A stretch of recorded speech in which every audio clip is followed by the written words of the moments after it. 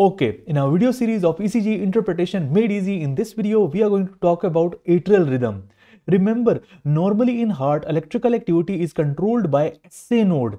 SA node produces electrical signals and they cause contraction of the atria and these electrical signals travel through the internodal pathways to AV node and AV node send these signals to the ventricles and causes contraction of the ventricles. That is called as a sinus rhythm. A sinus rhythm is the one which is controlled by SA node what happens in atrial rhythms is that there is an ectopic focus present in the atria and that ectopic focus is actually producing electrical currents. It is generating the electrical rhythms and it is causing contraction of the atria as well as contraction of the ventricles. That rhythm is not a sinus rhythm because SA node is not causing this electrical rhythm. Actually an ectopic focus present in the atria is causing this electrical rhythm. That is called as atrial rhythm. That is is not a sinus rhythm. Atrial rhythm is a rhythm that is generated from an ectopic focus present in the atria. Now coming to the causes of atrial rhythm, what causes these ectopic focus? Increased automaticity. Certain cells of the atria have increased automaticity. Normally the most rapid firing rate is of the SA node. The cells of SA node have increased chances of depolarization and it runs the heart at a certain rate. But in ectopic focus, in atrial rhythms, what happens is that that ectopic focus generates more electrical activity as compared to SA node and it causes contraction of the atria and takes over the electrical activity from the SA node. That is due to increased automaticity. Or it can be due to triggered activity. In triggered activity, what happens is that sometimes myocardial uh, cells in the atria get injured due to myocardial ischemia and MI or hypoxia and those injured myocardial cells have increased tendency to trigger depolarization that is called as a triggered activity or sometimes digitalis toxicity can also cause this triggered activity although digitalis is a wonderful drug but it can sometimes in overdose cause severe arrhythmias and the third important thing is re-entry phenomena. What happens in re-entry phenomena is that the damaged myocardial cells have a re-entry circuit. Basically, these damaged myocardial cells are producing increased automaticity, increased electrical currents, and those electrical currents spread in the atria and they, they form a loop and they again these electrical signals activate that ectopic focus and causes production of more electrical current. So there is self-activation of that ectopic focus through an re-entry circuit, a loop that is producing current and those same currents are actually activating more production of currents. That is that loop, that re-entry phenomena causes atrial rhythms. So atrial rhythm is a rhythm that is from an ectopic focus in the atria. It is not from the SA node. Now, there are many types of atrial rhythm. Atrial rhythms include premature atrial complexes, atrial tachycardia, wandering atrial pacemaker, multifocal atrial tachycardia, atrial flutter, atrial fibrillation. Now, we'll discuss first of all premature atrial complex. Now coming to premature atrial complexes, premature atrial complexes is an atrial rhythm, atrial rhythm, rhythm that originates outside of the SA node within the atria.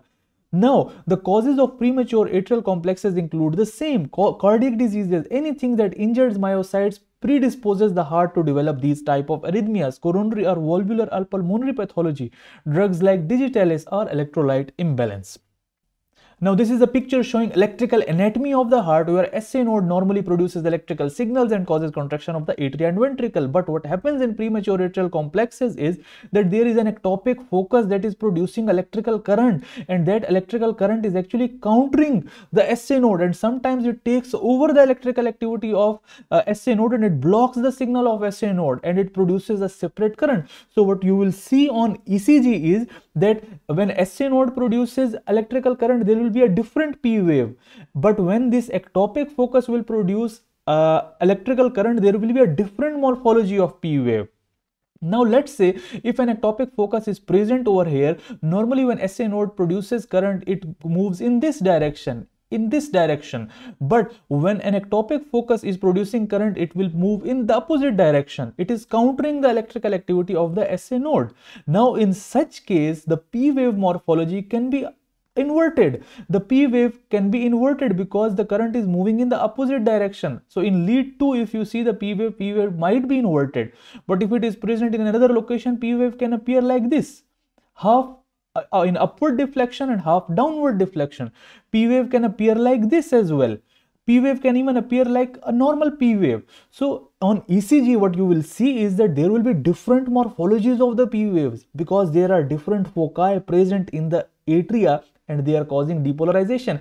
And this is an indication if you find different morphologies of p wave on ecg it is an indication that some ectopic focus is there which is causing production of abnormal electrical currents.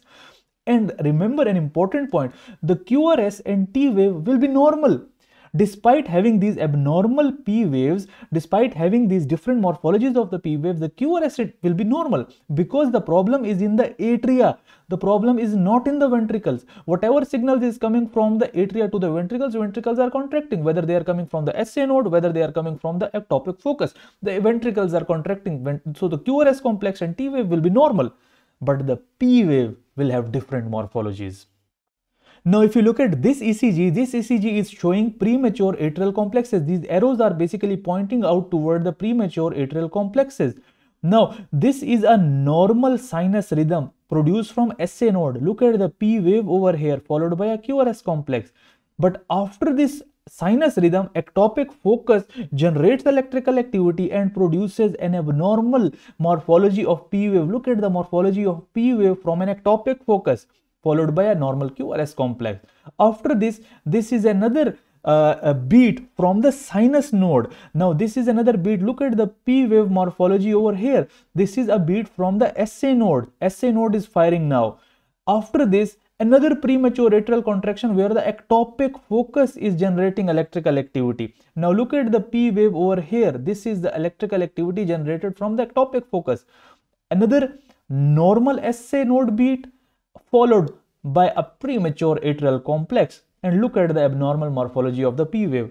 So this is how you can easily differentiate that this is a normal SA node uh, beat and this is an abnormal morphology of the P wave. QRS complexes are the same. The problem is in the atria, therefore the P waves are abnormal. So, so these are all the premature atrial complexes. Now if you notice one thing that after each and every premature atrial complex, there is usually a pause after every premature atrial complex, there is a pause. After every premature atrial complex, there is usually a pause. The RR interval is longer after every premature atrial contraction. The RR interval is longer after every premature atrial complex. So there is a pause after every premature atrial complex. Now if you notice one thing, that if there is a pattern, a pattern that after every sinus beat, there is a premature atrial complex and after every premature atrial complex, there is a sinus beat. Sinus beat followed by a PAC, sinus beat followed by a PAC.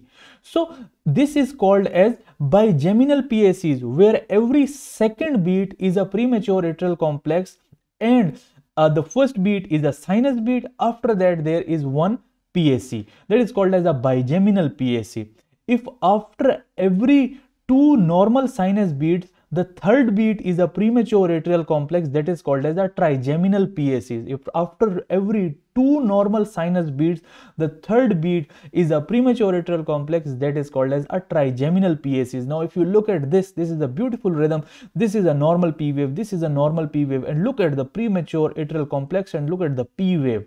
This is a normal P, uh, normal uh, sinus beat, a normal sinus beat. Look at the P waves and look at the P wave of a premature atrial complex. That is called as a trigeminal pattern.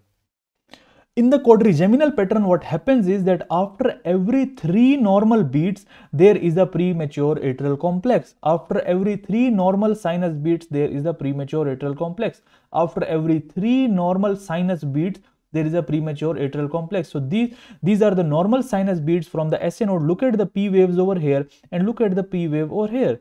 Look at the P waves from the normal sinus node and look at the P wave from the ectopic focus. That is the premature atrial complex. Look at the P wave over here. These are the normal sinus beats. If after every third normal SA node beat, if there is a premature atrial complex, that is called as a quadrigeminal PACs.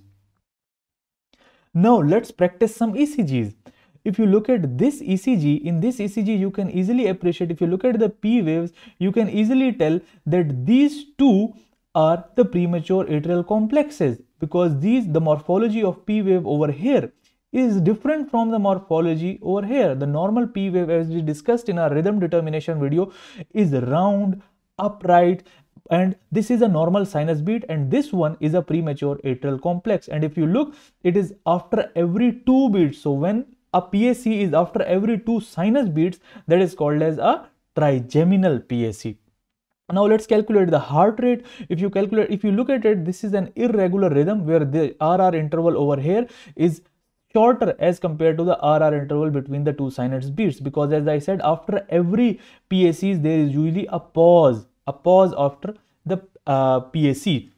Now if we calculate the heart rate we have 1, 2, 3, 3 and a half, 300, 150, 100 and almost uh, 80 85 beats per minute. This is an irregular rhythm. The P waves are married with the QRS complexes because each P wave is followed by a QRS complex. There is no such P wave which is not followed by a QRS complex. So P waves are present and they are married to the QRS complexes. If you look at the PR interval, the PR interval if it is within one large box that is a normal PR interval. Now if you look this PR interval the PR interval is within one large box then it is a normal PR interval. If you look at the QRS complexes, QRS complexes are narrow, their width is less than three small boxes, they have sharp pointed angles and that is a normal QRS complex. Now I have discussed about QRS complex, PR interval, P waves, regularity, heart rate calculation in detail in my video on rhythm determination. If you want to go into more detail, if you want to learn these things, we have already discussed in, in our video on uh, rhythm determination. The link of that video is given in the description below. Now the interpretation of this ECG is a sinus rhythm because these QRS complexes are followed by the P waves with premature atrial complexes and this is basically a trigeminal uh, premature atrial complexes because after every two sinus beats there is a PAC. Now what you should do is that you should pause the video take a piece of paper and a pen and solve this ECG. Solve these ECGs yourself. Till the time you don't solve these ECGs, you won't learn anything. These these are very volatile uh, ECGs and you will easily forget everything. So when you practice ECGs, the more you practice, the more you master it. Now let's look at this ECG. Let's look at the P waves we can easily tell that this one over here is a premature atrial complex because normally the P to uh, the RR interval is normal and all of a sudden there is an irregularity and it has abnormal P wave associated with it. So it is an uh, premature atrial complex and these are all the normal sinus rhythms. Let's calculate the rate. Uh, so we have 1, 2, 3 300 150 100 and almost 75 beats per minute.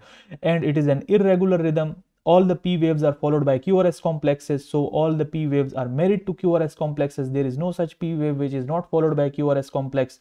Look at let's look at the pr interval. The pr interval is within one large box. It is uh, it is normal. When it is less than one large box it's normal. Let's look at the qrs complexes. The qrs complexes are narrow sharp uh, steep angles, pointed sharp ends.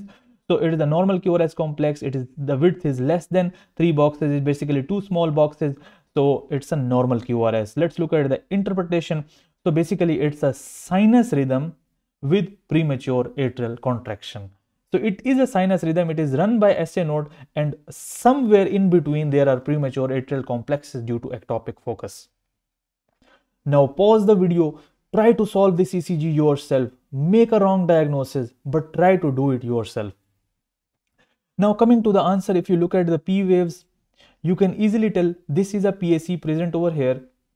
These are the normal P waves. This is another inverted P wave over here. There is another P wave, inverted P wave over here. So these are the three PACs present after every three sinus beats. So if the PAC, if there is a PAC after every three normal sinus beats, that is called as quadrigeminal PACs. So this is the quadrigeminal PAC pattern. Now let's calculate the heart rate. Now look at the pause after the PAC. The pause after the uh, PAC, the RR interval is deranged. This is an irregularity. So the rhythm is irregular. Let's calculate the heart rate. So it is 300, 150 and slightly more than that. So we have almost 140 beats per minute. In an irregular rhythm, what you do is that you calculate the narrowest RR interval and the widest RR interval. And you should, the better thing is that you should give a certain range that the heart rate is between 300 150 uh, so it's almost uh, 200 to 140 to 200 beats per minute so that giving a range is more safer rather than giving a simple number i've talked about heart rate calculation in detail in my rhythm uh, video now let's look at the rhythm. Rhythm is irregular.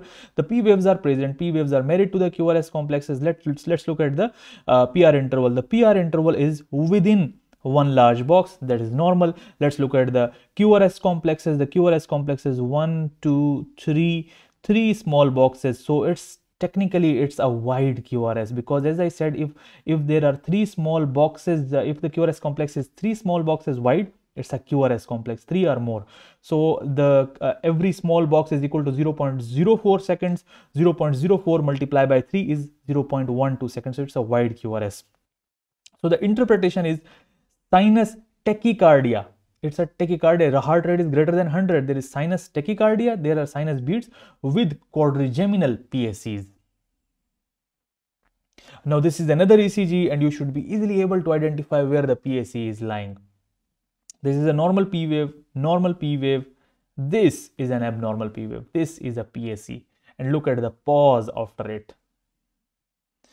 Now coming to the management of premature atrial contraction. Remember, whenever a patient's ECG is showing premature atrial contraction, it is one of the earlier indicator that that patient is developing any cardiac pathology. Maybe the patient is having increased stretching of the atria due to congestive heart failure maybe some abnormality is there maybe there is some hypoxia. So what you should do is that you should uh, do some diagnostic measures like echocardiography. You should look into the heart that what structural abnormality is developing within the heart because most of the time the patient will be asymptomatic when the patient is developing these premature atrial complexes and it is an indicator that patient is going towards an abnormal rhythm generation Premature atrial complexes are usually benign, but they need evaluation. No specific therapy is needed if the patient is asymptomatic. What you do is that you advise the patient to avoid smoking, caffeine, stress, because anything that stimulates these ectopic foci more, smoking, caffeine, stress, they cause increased sympathetic activity and cause increased stimulation of these ectopic foci.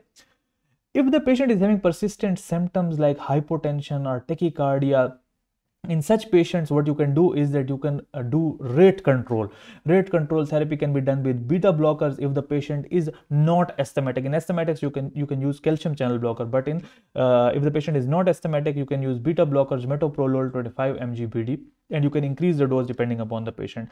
But the best thing is catheter ablation. These uh, ectopic foci are actually burnt with the catheter and these ectopic foci are destroyed which results in resolution of the symptoms now this was all about premature atrial complexes. Now in the next video, we'll be talking about wandering atrial pacemakers, multifocal atrial tachycardia, atrial flutter, atrial fibrillation.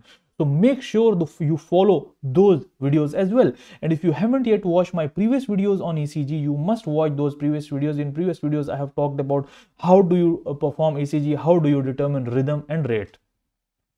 Now we discuss how ectopic foci fight with SA node and produce abnormal morphologies of the P wave. The bigeminal PACs, after every normal sinus rhythm, there is a PAC that is called as a bigeminal PAC. If after every two normal sinus rhythm, there is a PAC that is called as a trigeminal. If after every three PSEs, there is a trigeminal rhythm that is called as a quadrigeminal PAC how do you manage it? No specific therapy is needed but patient must be evaluated because the patient is developing a structural heart disease. If the patient is having persistent symptoms you rate control the patient with beta blockers metoprolol if the patient is not asthmatic. And the best treatment is catheter ablation. If you liked my video please click on the subscribe button and check out my other videos on uh, ECG lectures interpretation made easy. Thank you very much. The link of those videos is given in the description below. Thank you